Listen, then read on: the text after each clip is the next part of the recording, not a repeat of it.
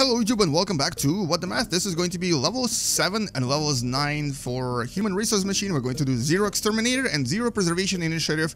Uh, and I'm going to show you how to get both challenges. Even though I haven't completed this one, I know exactly how to do it because I'm going to fix my code a little bit. Let's start with level 7 first. And in this level, we discover a new command called jump if zero. So if there's no value, if the value is null, you're going to jump to a new location.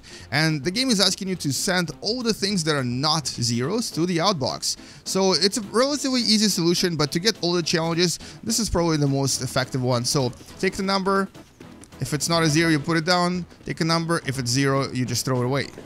You don't have to put it down anywhere, just throw it away, you go back to inbox. So what I did is uh, you pick a num number up. If it's zero, you return to the original value, you pick another number. If it's not a zero, you go to outbox and then once again jump back to original value. Now it's a relatively simple solution and this will give you both challenges as well. So you'll get the size challenge and the speed challenge. Ta-da! Now let's do Zero Preservation Initiative. This one is a little bit more challenging because here you have to only send uh, zeros to the outbox, throwing away everything else. So in other words, if it's if it's 5, you have to throw it away. If it's 0, you put it into the outbox. So you're doing the opposite. Now this was my original script. So here I picked up the number. If it's 0, I go directly to the outbox. If it's not 0, I return to the original value. So this, this is what I had originally. Uh, if it's 0, put it down. If it's not 0, you throw it away. And you do this until you finish the solution.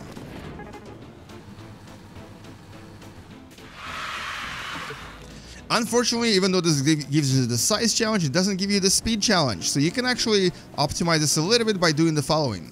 And so if you want, actually want to get the speed challenge here, you need to kind of realize that the first number here is always non-zero. This will actually give you the highest possible speed.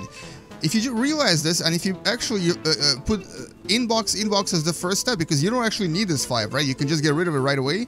This will give you the highest speed. So inbox inbox, uh, pick up the zero and put it into the outbox.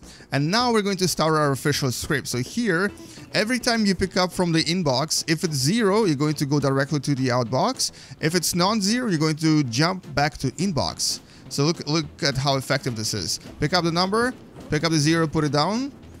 And now, if it's not a zero, we throw it away. If it's not a zero, we throw it away. If it's zero, we'll put it in here. Ta-da! This will actually solve this in 21 steps. I think this is the highest I've uh, seen so far. And we'll give you the speed challenge, but obviously not the size challenge. So you'll have to do this level two times to get both challenges.